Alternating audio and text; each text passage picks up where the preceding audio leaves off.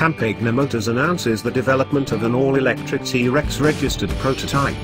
Previously establishing successful partnerships with BMW and Harley-Davidson to source power plants for the T-Rex and V13R respectively, this undertaking consisted of integrating Zero Motorcycles powertrain technology into the chassis of the legendary T-Rex registered for an even more dynamic and unique offering. The motors, batteries and controllers have been seamlessly integrated into the T-Rex, creating a high-performance vehicle, without the need for gasoline. Thanks to the hard work of our dedicated team and partners, the T-Rex has become the benchmark for three-wheeled performance, says Andre Morissette, president of Campagna Motors. Our collaboration with Zero Motorcycles brings a whole new level of innovation and originality to this already exhilarating platform.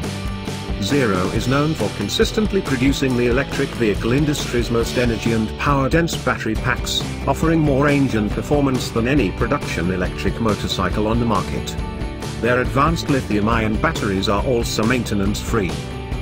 We are excited that Campagna selected our industry-leading powertrain technology to develop their electric T-Rex, said Zero Motorcycles Director of Business Development Jim Callahan. Zero's electric powertrain is an ideal solution for the ultimate three-wheeled experience.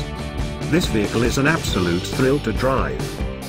The prototype will be unveiled for the first time at the Montreal Electric Vehicle Show. A second more advanced prototype is planned for the summer of 2018.